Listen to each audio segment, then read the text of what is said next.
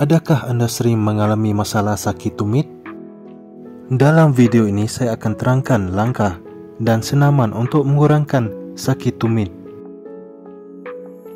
Cara pertama, letakkan tuala di bawah tapak kaki dan anda perlu menarik kaki ke atas dengan tuala tersebut. Apabila menarik tuala ke atas, kaki jari perlu dibengkok ke bawah dengan kuat.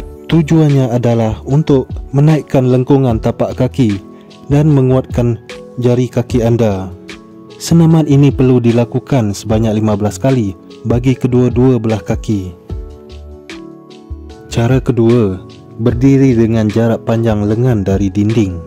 Tahankan tapak tangan pada dinding dan seterusnya mengalihkan kaki yang perlu dilembutkan ke belakang. Pastikan jari kaki menghadap ke depan dan tapak kaki dirapat ke lantai. Bengkokkan lutut kaki depan semasa nafas dilepaskan. Berat badan perlu ditekan ke bawah dan anda akan berasa tekanan kuat ditarik di bahagian betis. Tahan posisi ini selama 30 saat dan ulang cara ini dengan kedua-dua belah kaki sebanyak 3 kali. Seterusnya anda boleh buat senaman ini. Kaki ditarik dengan menggunakan sehelai tuala turun dan naikkan tapak kaki seperti dalam video ini sebanyak 30 kali dan kesakitan pada tumit akan dikurangkan. Ulang langkah ini sebanyak 3 kali pada kedua-dua belah tapak kaki.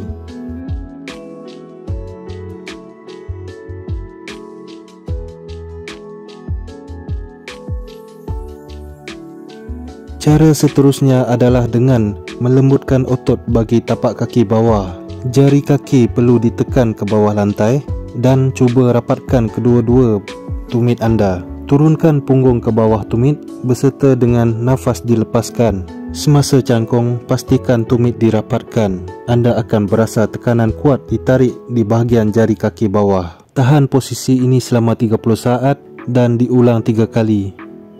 Seterusnya anda boleh tanda garis lurus ini mengikut tulang kaki. Gunakan ibu jari menekan pada tanda ini. Gerakkan tapak kaki ke atas dan ke bawah sebanyak 20 kali. Dan seterusnya diulang pada tanda yang kedua. Dengan cara ini kesakitan pada tumit akan dikurangkan.